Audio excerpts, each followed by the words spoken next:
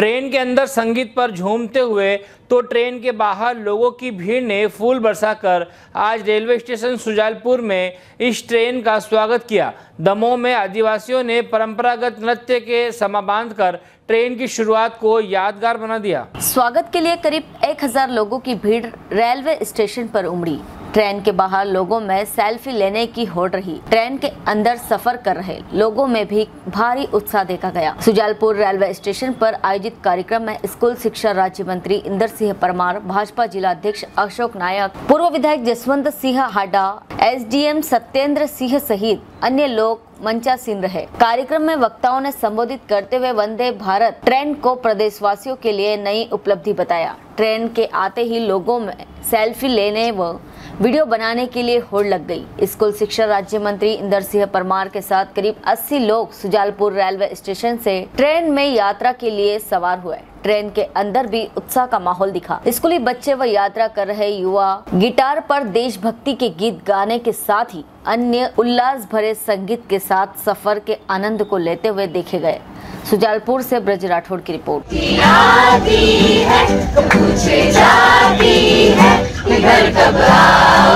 आओगे कि घर कब आओगे लिखो कब आओगे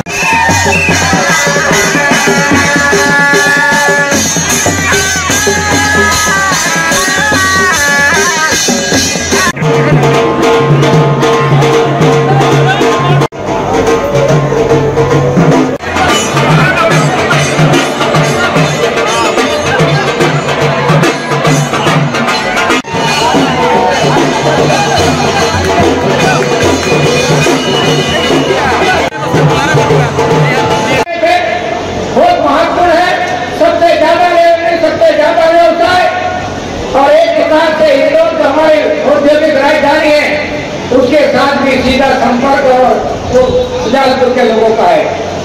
तो अपेक्षा है। उस अपेक्षा पर हमारे सांसद जी के नेतृत्व में हम क्योंकि बातचीत चल रही है।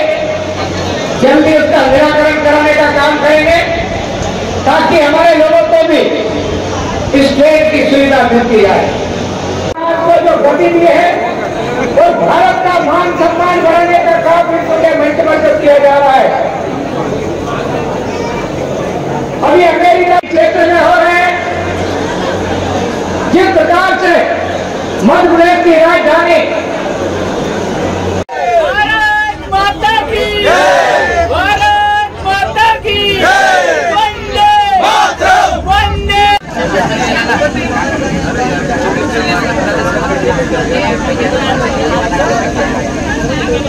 क्या कहना चाहेंगे? आज वंदे भारत की शुरुआत में काफ़ी आज अपने देश के इतिहास में और रेलवे के इतिहास में आज का दिन महत्वपूर्ण है।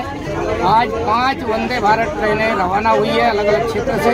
जिसमें मध्य प्रदेश के लोग हम सौभाग्यशाली हैं। जहाँ पर दो ट्रेनें भोपाल से इंदौर और भोपाल से जबलपुर।